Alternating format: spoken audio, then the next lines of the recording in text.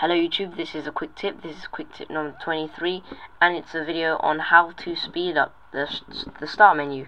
So the start menu has a half second delay and I'm going to show you how to uh, skip that half second delay with a registry tweak.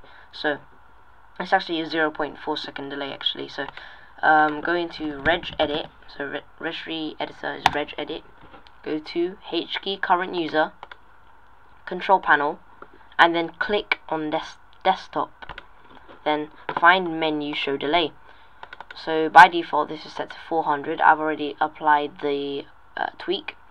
Um, so 400 is 0.4 seconds. So change it to 0 um, which means there will be no delay. And then uh, log off and log on again or restart. And then you'll find that your start menu uh, will be a bit more faster in displaying.